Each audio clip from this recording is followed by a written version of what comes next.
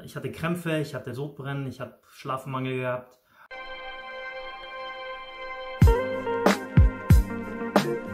Herzlich willkommen zu diesem neuen Video. Mein Name ist Martin Zimmermann. Ich bin Business Life Coach und Mutmacher Mentor. Und in diesem Video sprechen wir über das Thema Zucker. Jeder weiß, dass Zucker ungesund ist und trotzdem konsumieren wir es. Darüber will ich aber nicht im Detail eingehen. Da gibt es etliche Links, ein paar habe ich in die Beschreibung gestellt, also schau sie dir gerne an. Ich würde gerne lieber eher darüber sprechen, warum wir Zucker konsumieren und wie wir da wieder wegkommen. Zum einen hat Zucker ja ein enormes Suchtpotenzial aufgrund ähm, seiner chemischen Beschaffungen, seiner chemischen Beschaffenheit.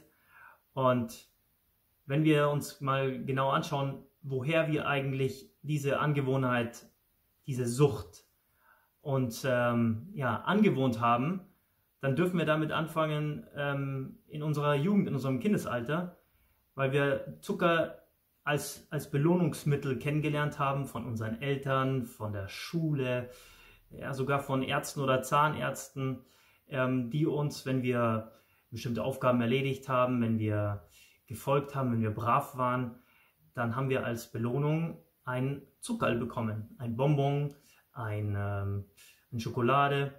Wenn ich zum Beispiel mit meiner Großmutter beim Einkaufen war, dann habe ich immer ein Überraschungsei bekommen.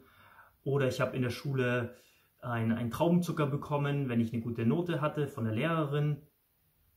Und so weiter und so fort. Du kannst dir selber vorstellen, was, was so in deinem, in deinem Kindesalter so alles vorgefallen ist, wann du mit Zucker in Verbindung gekommen bist. Und das mehrt sich dann natürlich, unser Körper ähm, ja, gewöhnt sich an, dieses, an diesen Zuckerflash, an, diese, ja, an, die, an dieses Glücksgefühl, das ja Zucker auch ähm, hervorruft. Und ähm, er will nicht nur immer wieder den gleichen, ähm, die gleiche Menge an Zucker haben, sondern immer mehr. Und was passiert dann? Es passiert, dass wir abhängig werden.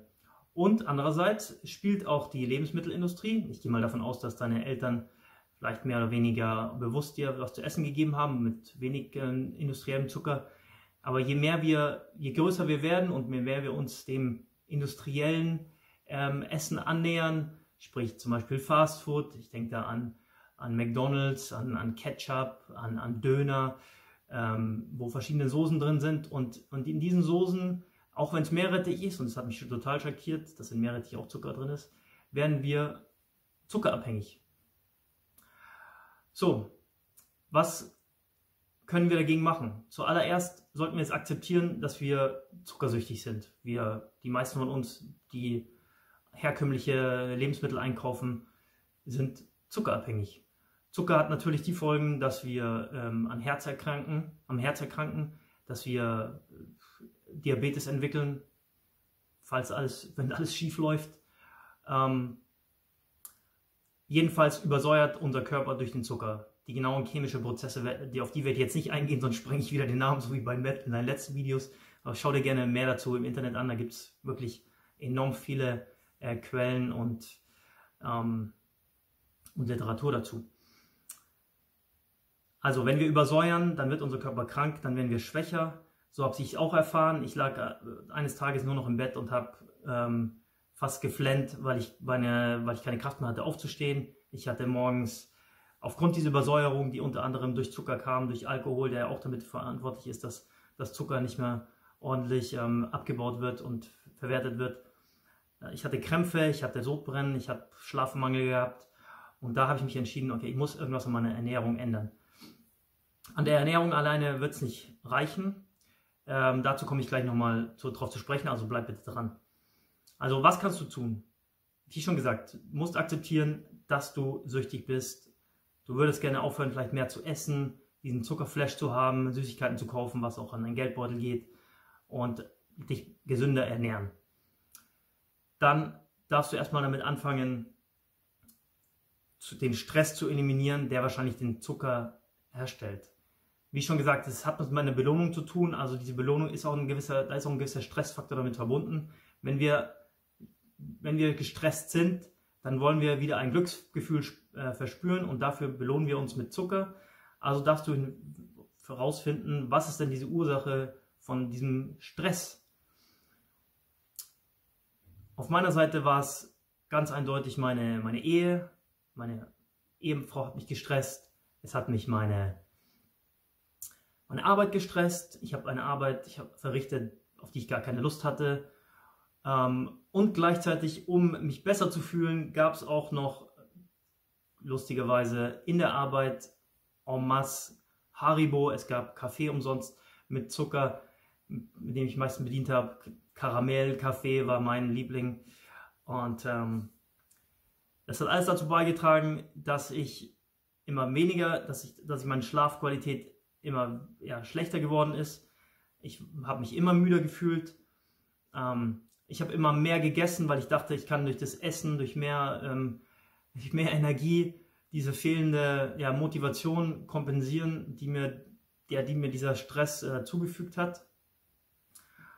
Und daher habe ich auch angesetzt, erstmal mich mit meinem Essen zu beschäftigen. Ich habe versucht, den Zucker durch gutes, durch guten Zucker, den industriellen Zucker durch natürlichen Zucker zu ersetzen, sprich durch ähm, Gemüse und durch Obst. Dabei ist es nicht nur geblieben, sondern ich habe auch noch ähm, eine Basenfastenkur gemacht für einen Monat. Die hat mir sehr geholfen, dass ich wieder zu Kräften komme, dass ich wieder bewusster esse, dass ich wieder Spaß auch am Kochen finde und mir die, sich die, die Gerichte selber zubereite und dadurch auch meine Kreativität ausdrückt, was schon mein, was auch meinen Stress reduziert hat. Dann habe ich mehr Wasser getrunken, bin weggekommen von gesüßten, ja schon wie schon gesagt Kaffee, Tees. Das alles habe ich reduziert, mehr Wasser getrunken gesundes Wasser, lebendiges Wasser, angereichertes Wasser mit, ähm, mit Wasserstoff, aber auch lebendiges Wasser.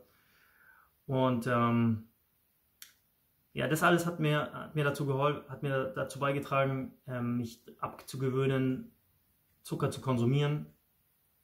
Ich habe natürlich auch sämtliche Vorräte an Süßigkeiten und alles, was zuckerhaltig ist, ähm, eliminiert, weggegeben, weggeschmissen äh, weggeschmissen eher, weil ich ja nicht will, dass, dass andere Menschen auch von diesem Gift ähm, essen. Und ähm, ja, was, was ich dann zusätzlich noch getan habe, war ähm, eine Entgiftungskur. Die hat, mich, die hat mir wahnsinnig geholfen, meinen Darm wieder gereinigt. Kann ich auch nur jedem wärmstens äh, empfe empfehlen.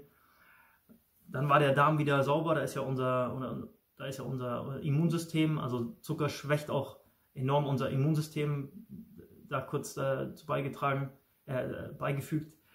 Und aufbauend auf dieser Basis, ähm, auf dieser Entgiftungskur, habe ich dann ähm, Nahrungsergänzungsmittel genommen, die mir auch ermöglicht haben, meinen, meinen Körper, meine Fitness, meine, mein Immunsystem aufrechtzuerhalten und zu verbessern durch diese jahrzehntelange Schädigung ähm, des Zuckerkonsums. Dann ähm, ist es auch ganz wichtig, dass du anfängst, ähm, wegzukommen von dem Stress, hinzukommen zum Glück. Was soll es bedeuten?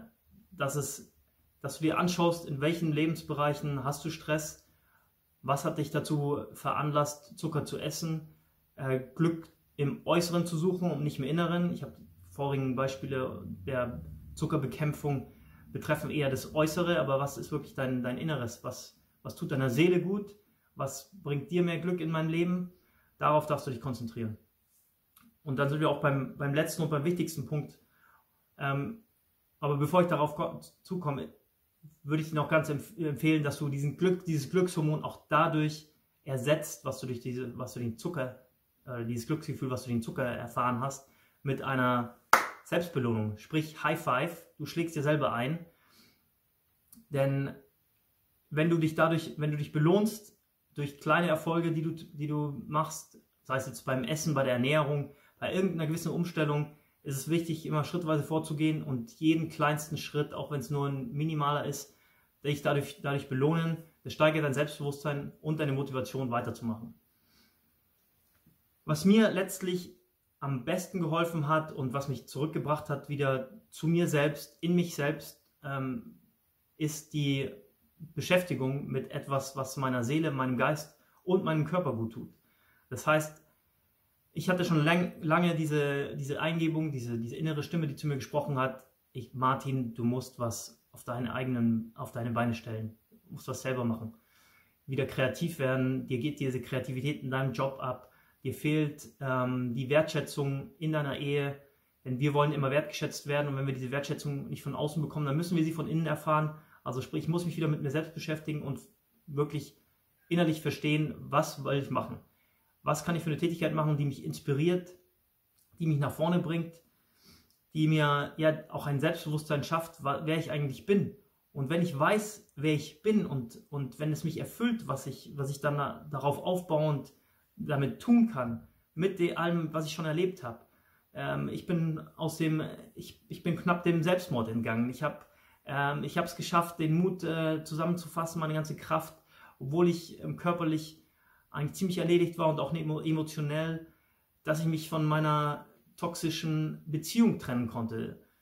Dass ich mich von einer Stadt distanzieren konnte, wo meine Tochter wohnt, weil ich wusste, dass diese, diese Stadt, diese Umgebung mir nicht nützlich war und mir nicht weiterhilft. Also all dies kann nur passieren, wenn du wieder zu dir zurückfindest und dich mit dich beschäftigst, maximal.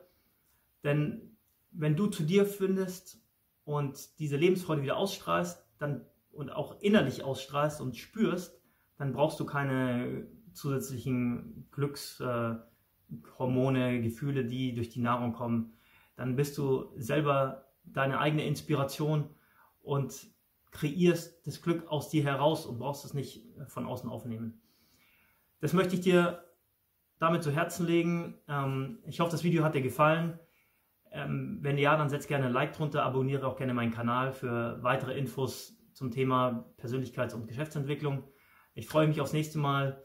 Alles Gute und lass den Zucker außen vor. Bis dann, ciao.